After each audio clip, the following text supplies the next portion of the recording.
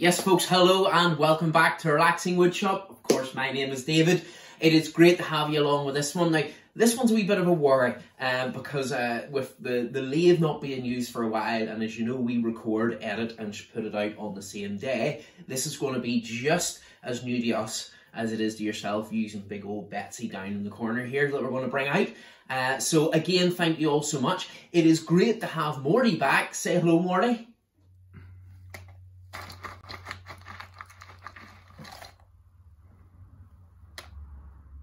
Morty? No, not no, no, eating, eat, eating the nuts. Right, okay. So, guys, uh, Morty's been doing bits and balls around the shop. We don't know what he's been getting up to, but he's doing all sorts, so I don't know. So let, let's just put up with what he's doing. So, uh, we'll look forward to doing this. Let's get stuck right in. Yes, so our ingredients for today is the beautiful brass top that obviously sits on the handle of the, the walking stick the wee brass ring that separates the two so you can actually screw this in to the top half and then this into the wood itself once it's turned. And then at the bottom you have then the wee um, nub or the, the, the base that helps when you're walking along so the wood doesn't get damaged as it goes through. And then of course the beautiful piece of wood itself. Now this is off um, bits that were left over from a kitchen. So there was, so it's a beautiful, beautiful piece of wood. And because uh, with it being the length that it is and being made for a kitchen, you'll see there's a lot of uh, connections to it. So hopefully that will come out beautifully on it and hopefully it doesn't uh, affect the, the wood itself when we're turning it. So let's get going. So guys, good old fashioned way, get the circle. Now as you can see this is our centre sorry. This is more of a rectangular type shape of wood uh, the way it was cut. So this is going to be a wee bit harder to get the centre, but we'll get there.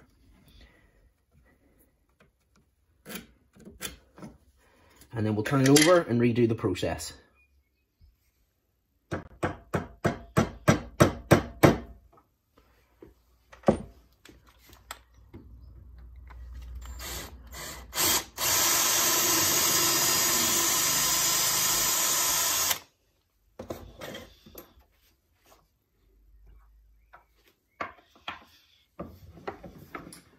Okay, folks, so we're all set up. Fingers crossed. So the bean's in place. There will be a wee bit of wiggle room here and a bit of jiggling because A, it's more rectangular than it is square. B, Big Betsy hasn't been used in a very long time. Fixed the motor, fixed all the running gears in here, tidied up the wiring in here. So let's just hope she runs smoothly. With regards to the sleeve, that's the bit that's going at the top, okay? So we need to make sure that our measurements are sitting at 22.4. Now that's going to be quite hard when you're working with wood to get that, that close. So let's lock in 22.4 on the gauge and that will hopefully allow us to keep it that. And then once we've done that, we'll then do the bottom and again measure the, the, the circumference, uh, diameter, circumference, which one, uh, around there, and then we'll go that. Now, ideally, when you're doing something of this length, what I could have done was drill two holes here and here, which would have took a wee bit of time, but drill two holes here and here, got a larger piece of metal to run the length so I have a perfectly smooth transition through the whole beam. But I would rather work on it step by step just to see how I get on. So without further ado, let's go.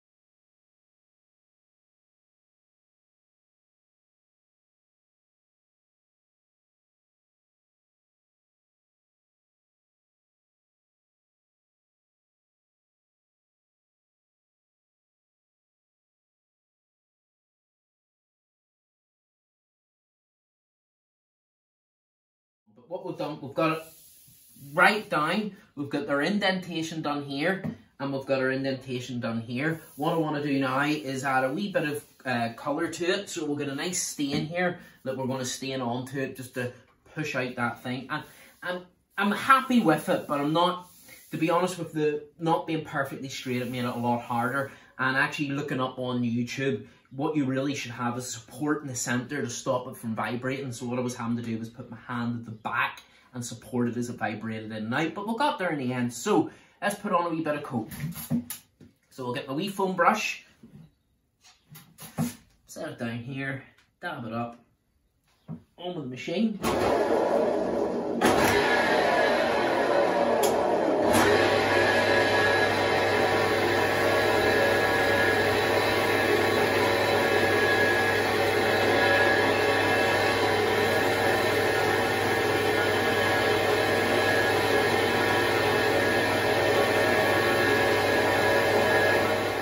Folks, so moment of truth for the, the, the bottom part of it. So that is our sleeve. Let's see how we get on.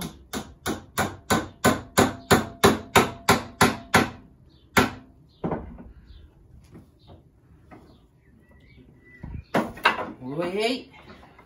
Fantastic. That's the bottom bit all good. Now, the top bit.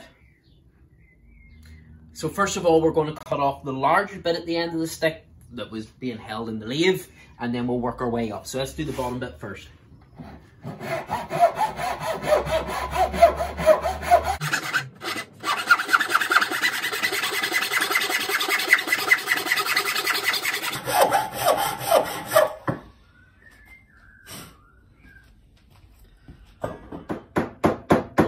Right, okay, so that's that now in.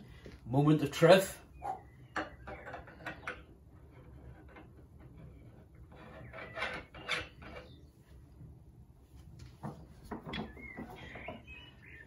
Voila! I like to see it at the end. Morty, what is this string doing here?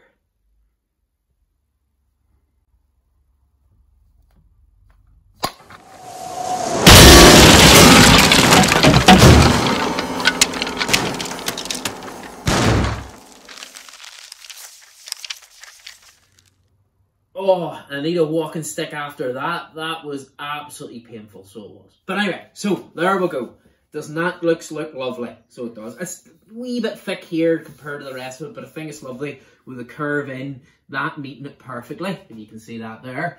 And then of course this meeting perfectly there. But a lovely feature to this, if I do this and unscrew, I don't know if you can see this, but I'll zoom in, a wee compass. So if you're out walking in what we've classified as the Mournes in this part of the world, uh, that'll help you head north, wherever north would take you. But there you go. So absolutely fantastic. Thank you so much for watching, and we'll look forward to seeing you next week on the Relaxing Woodshop. Take care.